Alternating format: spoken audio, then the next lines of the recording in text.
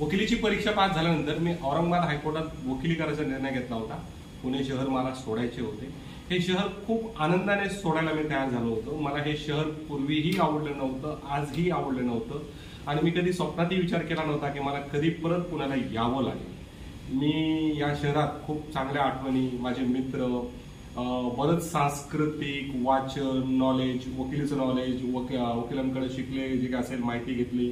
अशा बऱ्याच गोष्टी मी अनुभव सोबत घेतलेला होता स्वप्न पाठीशी घेतली होती आणि या शहराने मला दोन पैसे देखील दिले होते आणि औरंगाबाद जाण्याचा मी निर्णय घेतला. इथून मी औरंगाबादसाठी निघालो. पाहूया पुढे